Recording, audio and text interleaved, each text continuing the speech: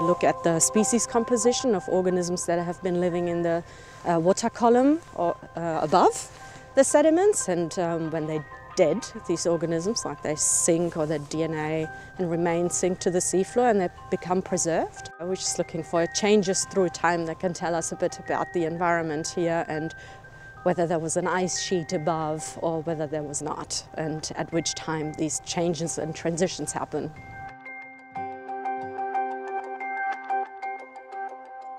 There's only trace amounts of this DNA in the seafloor, so we have to be very careful of contamination.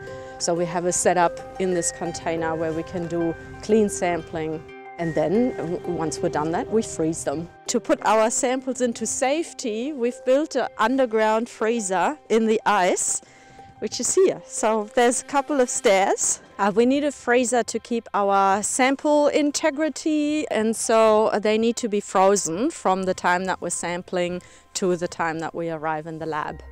We need to extract the DNA from the sediments and then we turn that DNA into uh, DNA that's readable for a sequencing machine.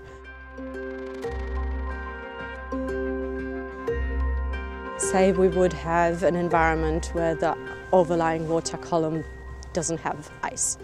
And so then we, we have organisms in this area that are phytoplankton, so they need light to live. And those are the signatures that we would expect to see. If we've got an ice sheet on top, then it's very dark. These light-dependent organisms probably don't occur.